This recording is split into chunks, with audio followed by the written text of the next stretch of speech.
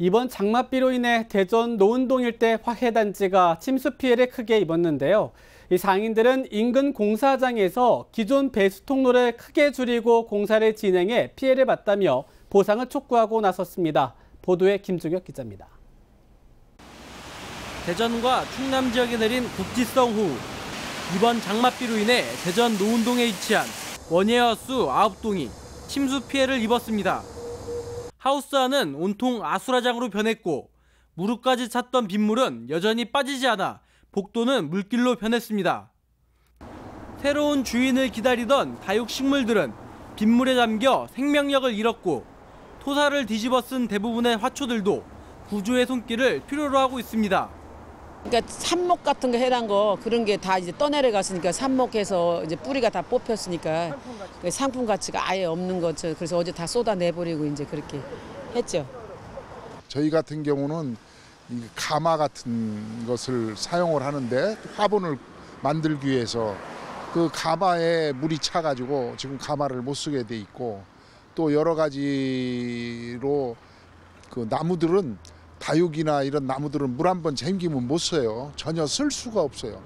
그러면 그런 피해도 있고 상인들은 인근 호남고속도로 방음벽 설치 공사로 인해 침수 피해를 입었다고 주장하고 있습니다. 기존 배수통로 앞에 4개의 작은 물 배관만을 설치하고 공사 차량 진로를 만들었는데 이것이 화근이 됐다는 겁니다. 호우특보까지 내려지는 등 국지성 호우에 결국 빗물이 범람했고 화해단지를 덮쳐 막대한 피해로 이어졌다는 입장입니다.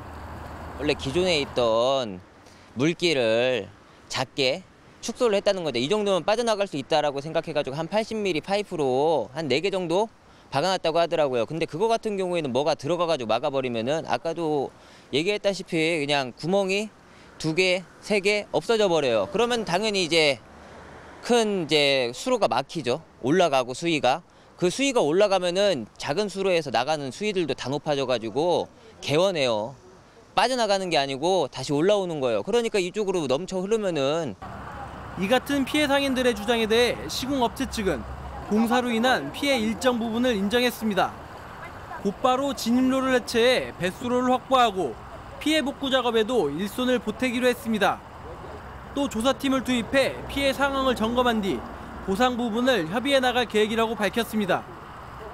수가 날 정도로 그게 와서 지금 저희도 어차피 어느, 어느 정도의 저기는 있지만 최선을 다해서 지금 조사를 하고 사람을 대서 복구를 해주고 있는 이런 상황에서요. 앞으로 피해 책임 여부와 피해 보상을 놓고 적잖은 진통이 예고되고 있는 가운데 여름철 장마 기간 동안 국지성 호우와 태풍 등이 잇따라 발생할 것으로 예상돼 피해가 예견된 곳은 없는지 보다 철저한 점검과 대비가 필요해 보입니다. CNB 뉴스 김조혁입니다.